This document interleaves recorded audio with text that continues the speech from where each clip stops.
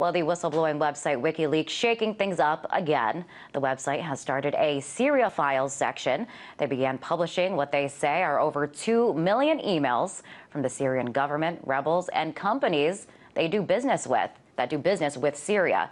So far, they've released dozens of files and they plan to keep releasing them over the next two months. Now, the site's founder, Julian Assange, says he hopes the documents could shed, shed, light on what's really going on inside the country, a country that has been ravaged by a brutal civil war that has left 15,000 people dead since the conflict started over a year ago. Now, to talk more about the Syrian files and the impact these documents could have is Jesselyn Radack. She's the director of the National Security and Human Rights and Government Accountability Project. Welcome, Jesselyn. So, Assange says that these documents are embarrassing for the Syrian regime, but also embarrassing for the West. I think that's accurate. I, I mean, from what we've seen so far, and again, we're talking about 2.5 million documents that span a time period of of six years. But from what we've seen so far, um, it really reveals the West and Western companies how they say one thing and do another. For example, um, we the, the U.S. and Europe have been severely sanctioning Syria, and yet now we're finding out from the latest cache of emails that Western companies have been assisting the Syrian government in building a radio network.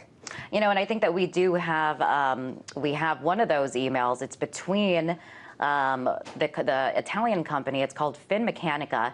Uh, between their employees and Syria uh, selling communications hardware to the country. Here it is. It says, uh, Dear Rami, due to the current situation and changes you had to make, please disregard the original request and let us do, I think that's supposed to be one request at a time. This is going to uh, Mwadamia Police Warehouse. Contact Mohammed.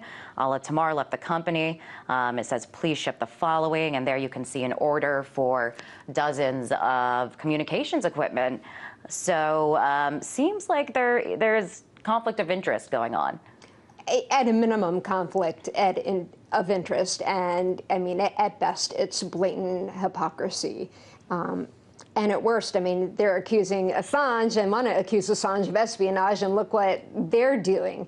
Um, they're assisting a foreign government attempting to benefit a foreign nation that we're supposedly trying to sanction at the same time. Um, and I find all of this very interesting because it shows, number one, that WikiLeaks WikiLeaks is alive and well despite the best efforts of so many countries to shut it down. And number two, that as much as the mainstream media wants to distance itself from WikiLeaks, the Syria files are the front page of every major newspaper in the world right now. Seems a little bit ironic there. Um, also wanted to point out that the U.S. is not uh, clean in this at all.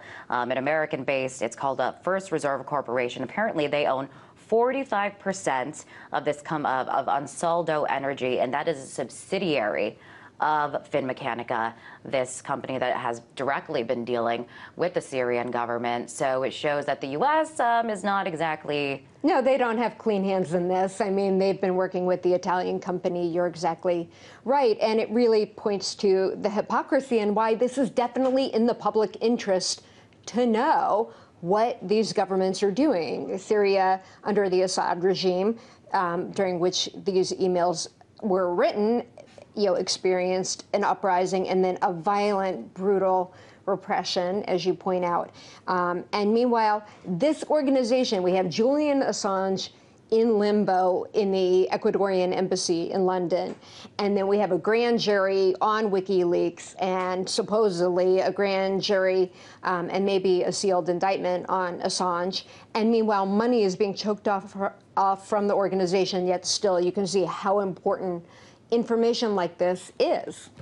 And now with the release of this information, we, it's, only, it's only just the beginning. Just dozens mm -hmm. have come out. They're saying over 2 million. Um, how could the, the release of these documents potentially affect what's happening in Syria. I mean, it's a conflict that's been dragging on for over a year now. Thousands of people ha have died. How could these documents, the release of them, affect the situation there, or, or can they? I think they can. I mean, I, I, think the more sunlight we can bring to this, the better. Um, and having more information and transparency out there can stop us from from slapping them down with one hand and feeding them and helping the helping urge the government to hurt its own people with the other hand.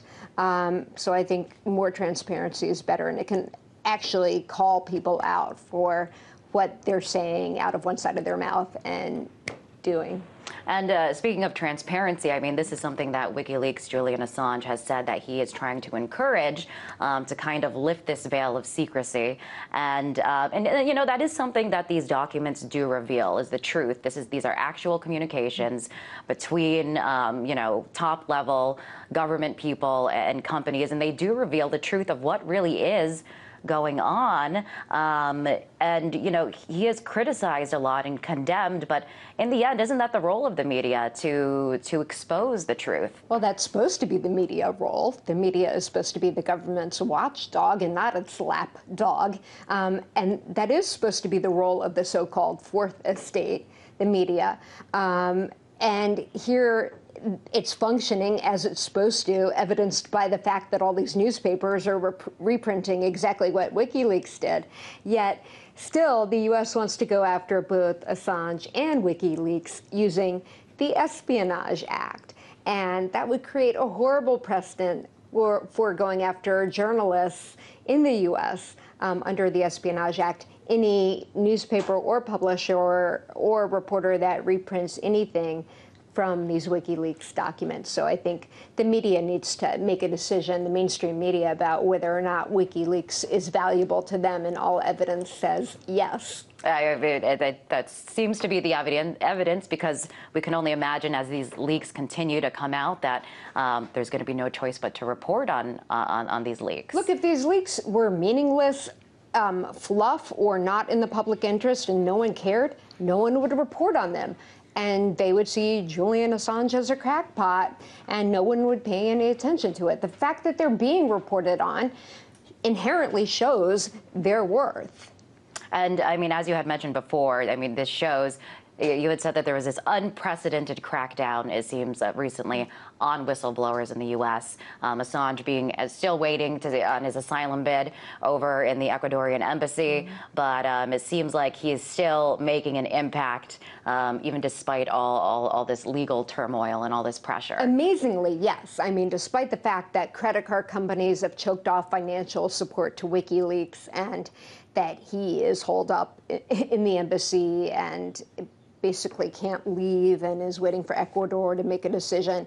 And despite grand jury or multiple grand juries being out on him, this organization is continuing to function, which is a testament to the strength of the truth and Assange's assertion that information wants to get out there and will. And it's a testament to um, the viability of WikiLeaks as an organization, especially at this time. Absolutely, and we're going to be keeping a close eye on this story, especially as more of these leaks continue to come out.